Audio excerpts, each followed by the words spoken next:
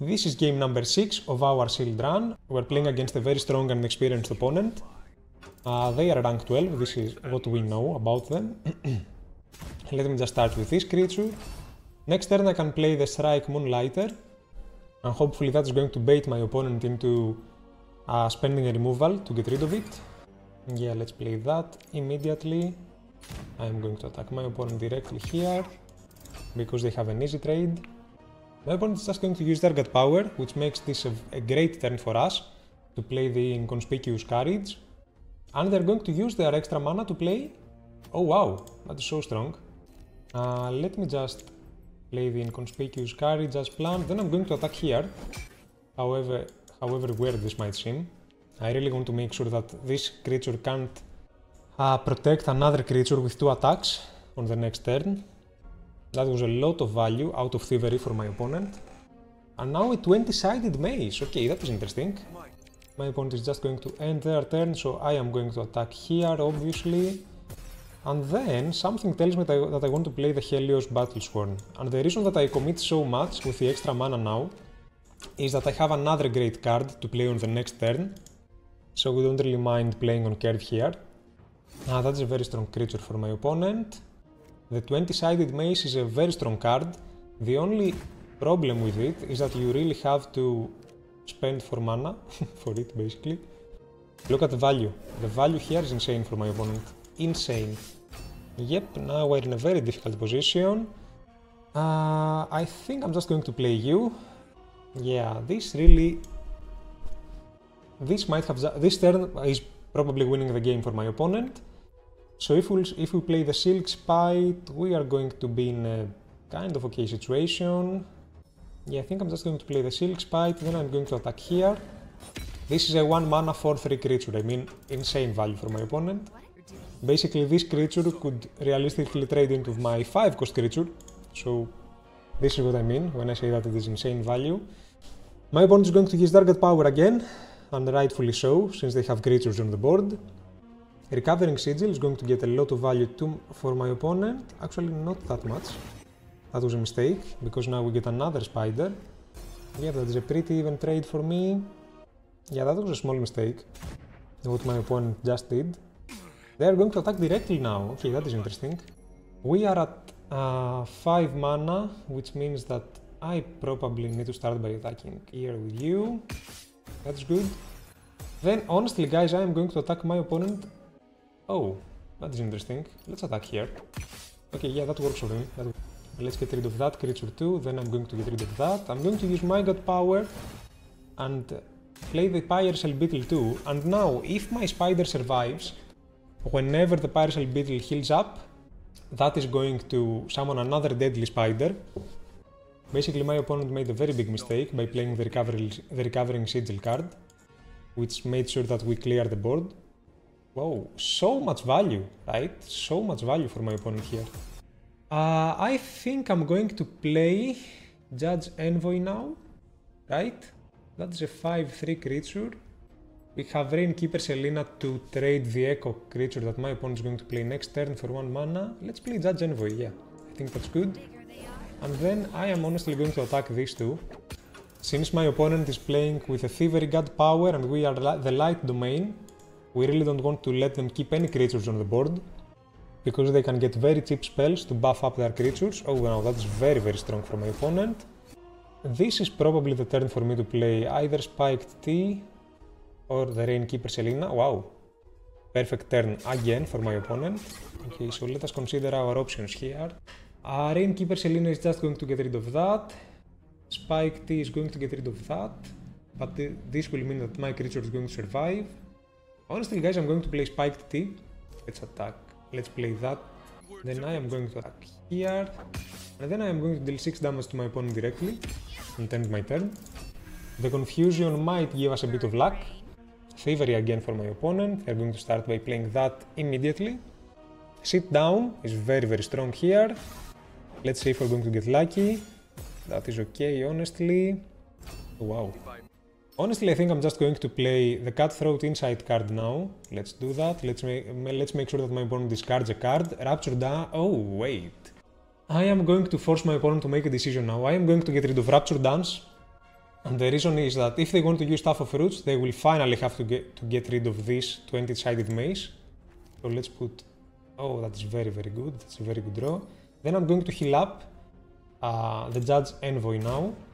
And I'm going to end my turn, basically. my opponent is going to use Dargot Power. And hopefully they will not fight again protected or anything good that's going to help them clear this. Yep, that is going to survive now. Honestly, guys, I could just play Poacher Demon here. Actually, Rainkeeper Selena also works. Uh, the Inspirator... The Inspirator is a very strong creature. Do I want to get rid of it or do I want to threaten my opponent?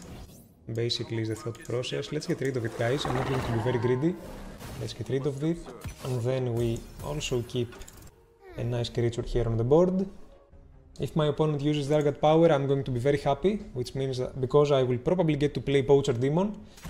Oh, that is so strong! Come on! How lucky are you? Stop it. How much value has this card given to my opponent? Ah, uh, that is an interesting turn for me now. That is an interesting turn for me. Honestly, guys, I'm not going to play the Poacher Demon yet. I'm going to make an effective trade here. Let me attack them with the Mercantile Marine onto you. Then I am going to use Rainkeeper Selena to make a copy of my Badger. And then we have two Bleach creatures to get rid of that. And I am also going to play the Valpine Collector now. Actually the Shellback Sprinter, let's force my opponent to trade it, basically. Wow, but the value of this card in this game is insane. Take the reins for my opponent, wow. They're going to make a very easy trade here. Okay, now we really need to play Poacher Demon. And I'm going to end my turn afterwards. If we can still take the reins and Mercantile Marine, life is going to be very beautiful. Pack Succession, wow, please don't find the... Oh my god! Okay, that's very, very lucky for us. That is very, very lucky for us. But it means that now we can't steal uh, Pack Succession. And what, what else did my opponent play? Target power probably, right? It means that we can't now still take the reins from my opponent. Wait, the Lupine Wayfarer is very good. Let me first start by attacking my opponent immediately. That's going to give me... Actually, do I just play Pack Succession here? Guys, what do you think? Do I just play this? Is there any chance that we're just going to get that and be very very sad? I mean, there is a chance. No, I am not going to be greedy. Oh, I don't know. No, guys, I'm going to play Pack Succession.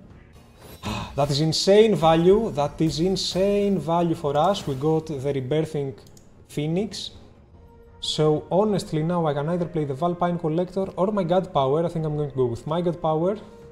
Let's do that. And then I'm going to end my turn. Oh, that's a bomb. Wait. We could bombs into my opponent's deck? That's cool. I'll take that. 3 more damage for my opponent. How many bombs did we get? Like guys, I, I forgot that even happened. When did that happen? Hello? How long has... This game has been going on for 13 minutes now. Finally my opponent is going to play Staff of Root. Uh, but I don't really get why they didn't attack with the other relic. Blood in the water. Okay. That's a lot of value for my opponent. Because now they can get rid of the Phoenix too. Uh, which means that we can just play the Tainted Treant now, along with my God Power probably. Yeah, let's do that. Let's start generating some cards now. That is a very strong card for my opponent, of course they had that. Merikadmos is probably something that I don't want to play onto you. Uh, I can populate the board a little bit, I guess. Let me play the Sing Song Satyr, then I can use my God Power and play the Crystal Sierra Acolyte too. Uh, we know that my opponent has the card that I keep forgetting the name at 6 mana, that can clear the board basically. Poacher Demon for my opponent, wow that's strong here. They are going to make a trade. Amber Arrow is amazing. Uh, I'm very happy. No, come on with the censure, come on, stop it. Stop it. Another Merikadmos, okay. Uh, what do we do then? I mean, I can play the Valpine Collector. Let's give it plus one health. Then I can play Amber Arrow to make sure that this goes to the Shadow Realm. And then I'm going to play Lupine Wayfarer too. let's give this creature afterlife, and this is going to get bleeds, and now we still have a very strong board.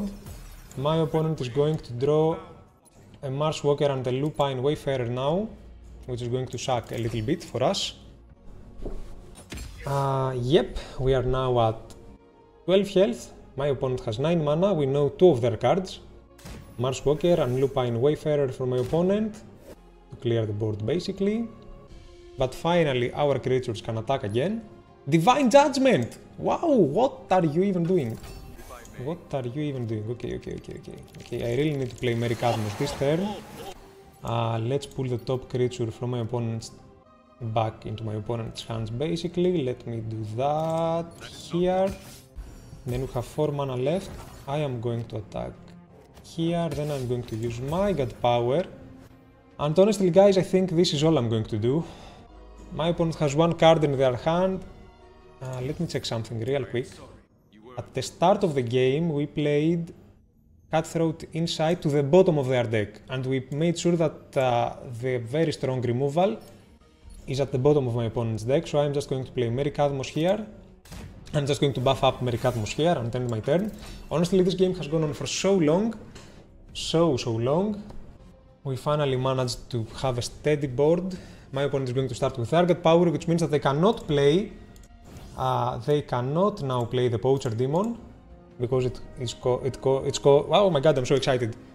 Frontline unprotected to this creature, that is going to tank up so much for my opponent. But honestly, you know what guys?